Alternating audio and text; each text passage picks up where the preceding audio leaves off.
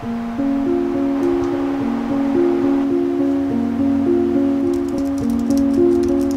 patuloy na pagtaas ng numero ng mga kaso ng COVID-19 sa Pilipinas, marami ang nalalagay sa alanganin, mahirap na sitwasyon at malalim na pag-alala. Saan ka man tumingin, di mapagkakaila ang hirap ng buhay.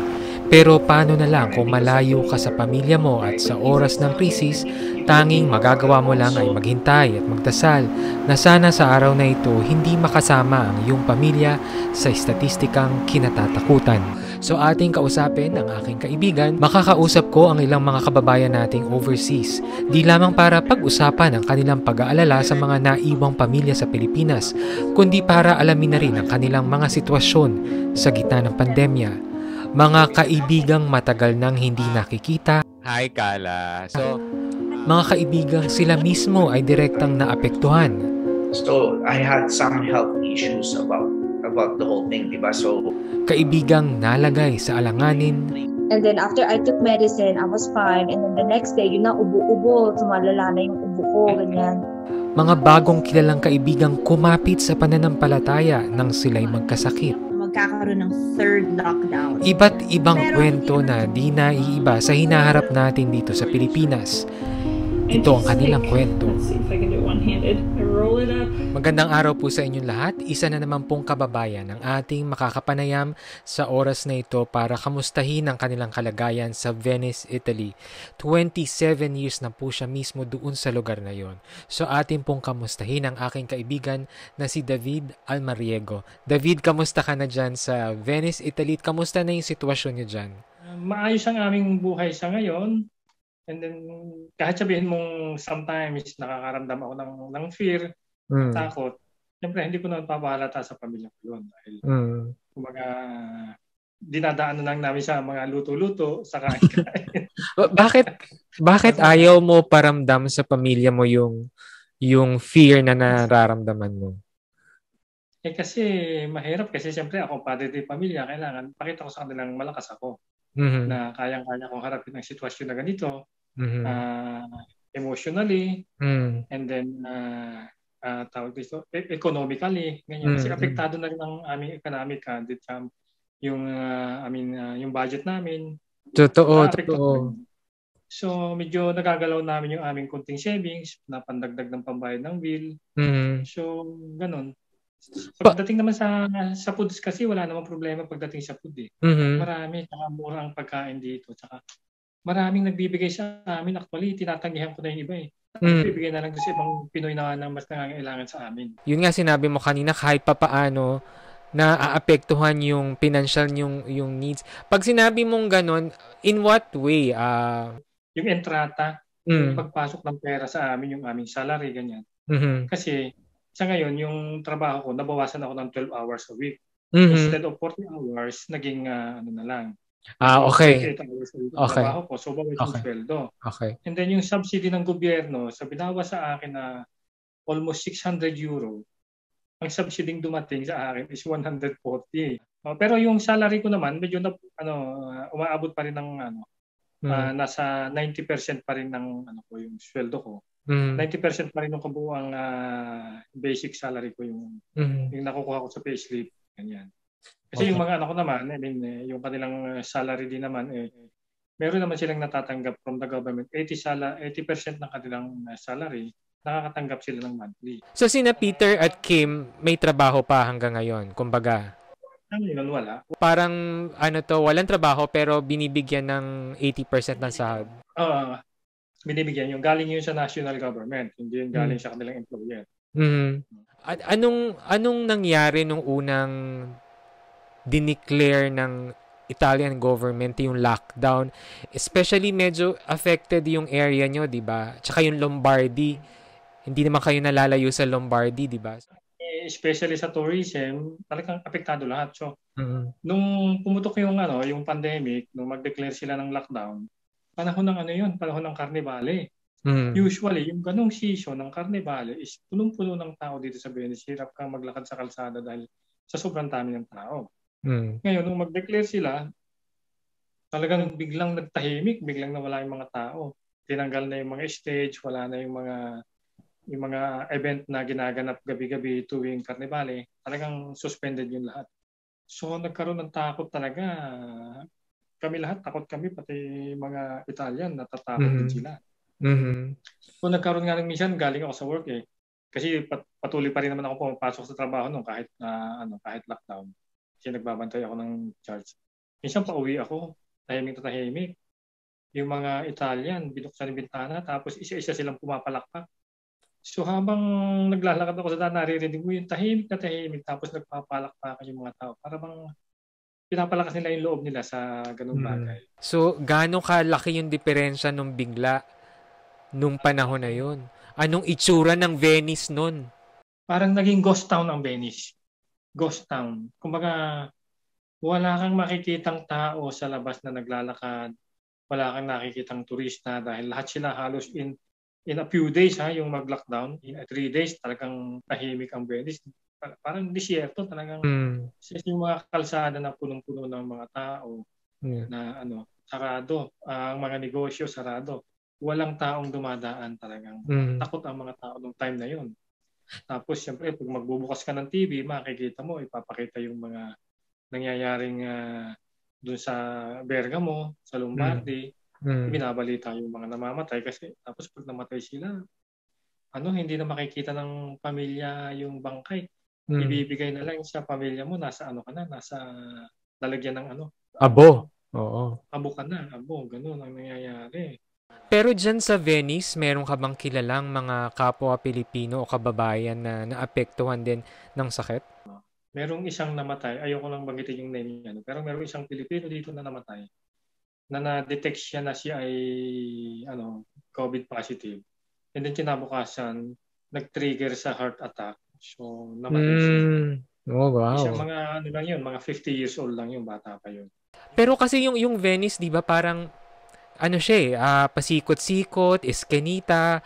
So, Mhm. paano sin, min, ah, sinigurado ng Venetian government na kahit na paiski-iskinita yan, kahit na dikit-dikit yung mga bahay, hindi kumalat yung sakit. Noong time kasi na yun, last year, talagang nagkaroon ng block, may ano, may checkpoint yung papasok Mm. ng Venice. Mm. Talagang pag hindi ka taga rito, hindi ka pwedeng pumasok. Pwede ka lang pumasok pagka ikaw ay may ano, mayroong work dito sa Venice. Mhm.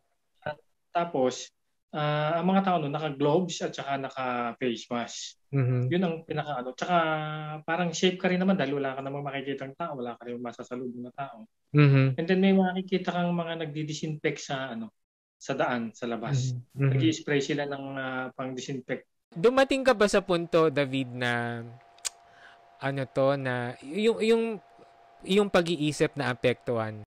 Ako, actually, talagang nalungkot talaga kami. Nalungkot ako. At katulad nga yung sinabi ko kanina sa umpisa na sabi ko, kahit nalulungkot ako, ayaw kong pakita sa sa family ko dahil nga, siyempre ako yung padre ng pamilya, ako yung malakas, di ba? Mm. Tsaka isa pa ang ikinalungkot namin talaga, alam mo, ang dami namin, dalawa yung aming nakabook na travel. Ay, na, Sumaya lang ako nung ano nung maripa namin yung pera. Kasi bayad na yun eh. Oh. Talagang nalungkot kami dahil lahat kami talagang ex- excited na mamasyal na ulit eh. Tapos ngayon, ang pinagkaabalahan namin dito, alam mo, yung luto-luto, si Peter nagluluto ng pizza, si Marites eh gawa ng gawa ng pandesal, ng cake, ng mga ganyan. Tapos na, luluto ako ng pagkain, ng ulam, yung di ba? So so yun yung so yun yung ginawa nyo para kahit papaano eh I mean gumaang yung pakiramdam nyo, gumaang yung pag-iisip nyo, yung maging productive man lang kayo. Yes, yes, yes. Totoo yun, totoo yun. No. Pero as- tumatanggap na ng order ngayon ng Which is good. I mean, 'di ba sabi mo nga kailangan nang may pumasok na doon sa budget nyo. So okay din 'yun, 'di ba? budget namin. Yung, yung last na yung last na electric bill namin, yung pinagbentahan niya ng cake ang binayad namin. I I think pare-pareho lang naging I think naging pare-pareho lang yung gimmick ng mga tao nung naging nung nagkaroon ng Oo. ng lockdown kasi even dito sa Pilipinas ang daming biglang nagluto kung hindi nagluto, Oo. nagtanim ng halaman, alam mo yon naghanap ng pagkakakitaan. Okay. Kahit sabihin mong lockdown, ano, meron akong ah, certificate na ako ay pwedeng lumabas at na pumapasok ako sa trabaho. Kasi sa simbahan yung trabaho ko, hindi naman namin pwedeng ah, isaradong tuluyan. Mhm. So naka-open siya for prayers pero for ano for the ano for the tourists sarado talaga. Sarado Mhm. yung museum ganyan. So- nasa loob na, ano, So even up until now, David, hindi pa pwedeng magsimba ng maramihan sa sa it sa Venice. Hmm, siya ngayon nakakasimba na kami. Ah, nakakasim 100 140 ang capacity ng simbahan namin. Na, napupuno yun. Minsan 150 pa eh. Ah, Mm. so wala na kayong social distance distancing? Meron pa rin. Pero kumbaga, ginagamit naman na yung practicality. Dahil ah, pagdating mo sa loob ng simbahan, yung couples, yung family, pwede silang magkakatabi sa isang upuan. Pero nakama nakamask pa rin kayo na Ah, naka-face mask. Oh. Naka-face mask talaga. Sa labas at saka pagpapasok ka sa mga loob na yung mga tindahan, sa simbahan, Mhm. ganyan. Mhm. Naka-face mask ka talaga required. Nung nung unang lockdown, kailan niyo naramdaman na na na bumuti na kahit pa paano bumuti na yung sitwasyon? Mga anong panahon 'yun? Ah, ano, end of May, mga end of May ganyan. Medyo bumabalik-balik na siya. Oo. nag-declare na kasi sila na kumbaga yung red zone, yun ang pinaka talagang total lockdown. Tapos yung orange zone, siya yung medyo light na lang. Mhm. Tapos meron pa rin yellow, yellow zone, ganyan.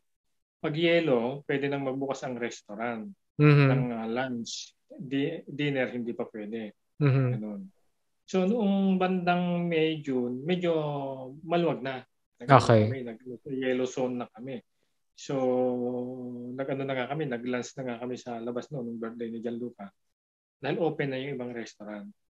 Tsaka medyo bumaba noon ang ano, bumaba ang ah, tawag dito, ang cases. Binigyan Pero nung ano, nung Pasko, syempre ibang sitwasyon 'yan dahil yung mga tao magsisimba, magdidiwang, mag alam mo 'yon with family gatherings. So nagkaroon ba rin ng pagtaas ng numero, mas nakata na, nadakot din ba kayo dahil alam niyo yung pag nagtipon-tipon ng pamilya, nako baka yung surge tumaas.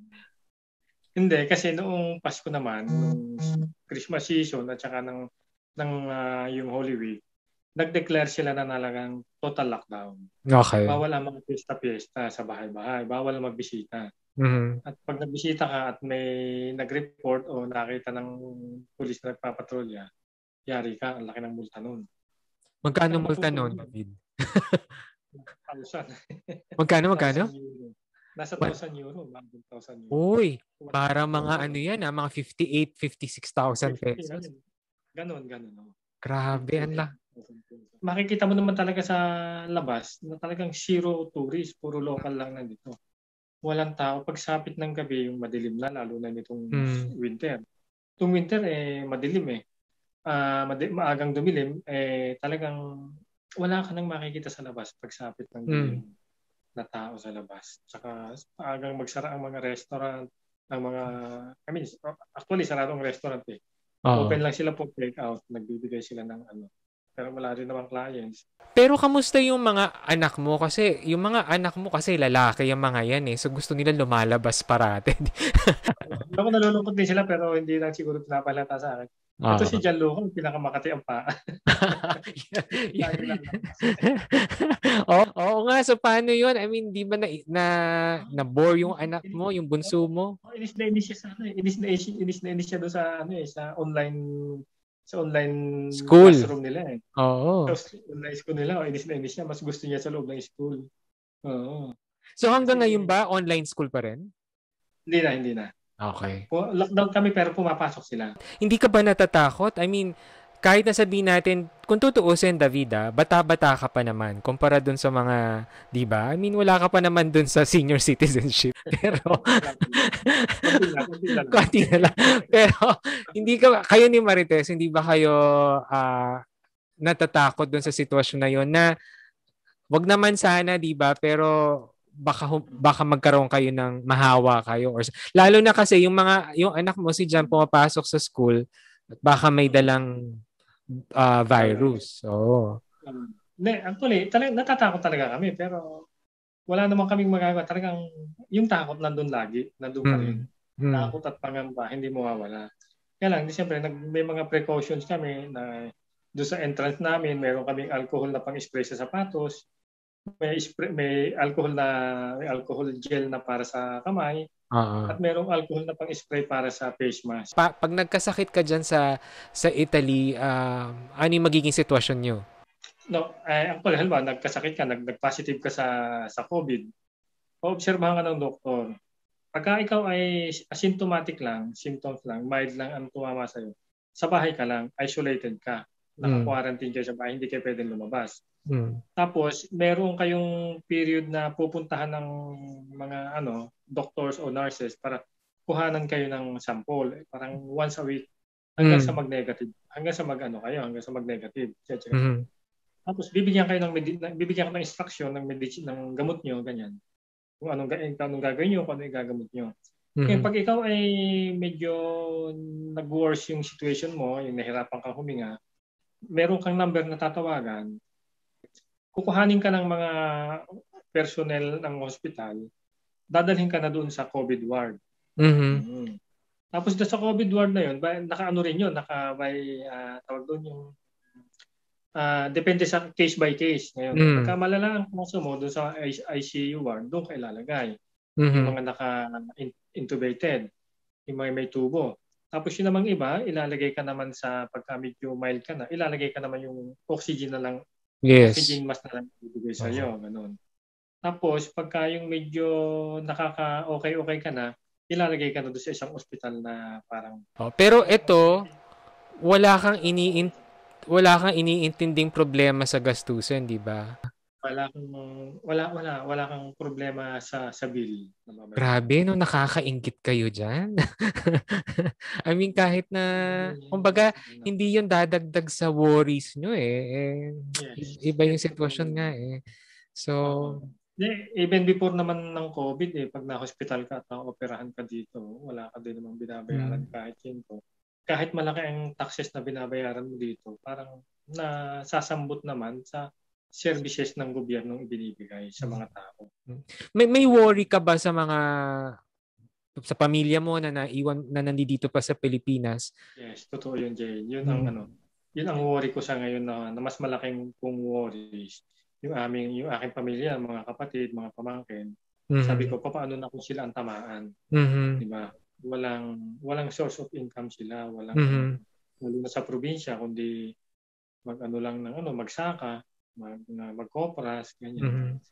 I mean, wala silang malaking ah, pera Mag- para sa pagpapagamot. Kumbaga, pang biogesic lang yung kanilang pera sa hindi kaya sa pang hindi kaya sa pang antibiotic dahil Correct. And and kapag wag naman sana mangyari kapag may may naganap, hihingi sila ng tulong sa inyo na kayo rin naman eh limitado rin naman yung pwede niyo maibigay, di ba? Actually, last year, nagpapadala naman ako sa kanila ng ayuda ng ano, nagpapadeliver ako sa kanila ng goods, ng bigas, ng Mm. groceries. Mm. Nagpapadala ako sa kanila. Yung kapatid ko, si Lisa, kaming dalawa. Nag, ah, nagtutulong kami na Mm. minsan, yun, hindi naman madalas. Kumbaga, pag ano lang, pag talagang, Pag merong ilalabas. pag mayroong ilalabas. Oo. o dahil sa, talaga sa ngayon, hindi ka na po pwedeng basta-basta maglabas ng Mhm. pera dahil sa- hindi mo alam din ang ang ang future natin kinabukasan kailangan may hawak ka palaging ano Mhm. pera na for emergency So i- i- ikaw sa sa sa yung karanasan, ano yung isang mahalagang bagay na naisip mo sa gitna ng pandemyang to? alam mo sa gitna ng pandemya yung naisip ko kailangan lagi kang lagi kang ready sa lahat ng bagay na mangyayari sa iyo sa Mhm. araw na to o kinabukasan kasi hindi natin alam eh bigla-bigla na lang pagbubukas ko ng social media ng FB may mga condolences si Mm. ganito sa Mm. anak sa mga kaibigan lalo na sa ngayon Ah, so kailangan nga. ready lagi eh financially at spiritually Mhm. morally kailangan talagang ready eh. Ready. Kailangan pas- palakasin lagi ang loob. Oo. So, huwag maging negative thinking, laging positive, positive. Mm. Kaya nga, ito, hindi ko na sa, sa aking, sa, sa social account ko, hindi ako nag nagpo-post ng kung ano man yung nararamdaman ko, kung ano yung Mm. ipinopost ko dyan lagi mga positive vibe, mga pagkain. Oo nga, eh, lagi ka nakakagutom, nakakainis ka. Kung hindi ka nagpo-post, sinesend mo sa messenger. Nakakagutom, David. Eh. Minsan, 10 oras na ng gabi. Which is good ah, kasi parang ah, ano pa nga bang kailangan mong gawin, di ba, para sumaya ka? Eh di, kailangan mong mag-isip ng paraan, di ba? Mas lalong tumibay ang spiritual na ano ko, spiritual faith ko. Mas lalong tumibay. Mhm. At saka ano, nagkaroon kami ng 9 o'clock ah, prayer kaming ah, Mm. family. So, lalong-lalo si Gianluca pagka yung 9 o'clock na nakakalimutan ko, tatay, halika na. Oras na. Kung halimbawa bumuti na lahat ng sitwasyon, hindi lang sa Italy, siguro kahit dito sa Pilipinas, ano yung pinaka-immediate plan na gagawin ninyo? Magbubo agad kami ng pauwi ng Pilipinas, travel papuntang Pilipinas. One month dyan, siguradong yun. Tapos, doon sa one month na yon nakalista na lahat yung itinerary namin ng mga pupuntahan. Dapat i-meet, i-meet namin yan.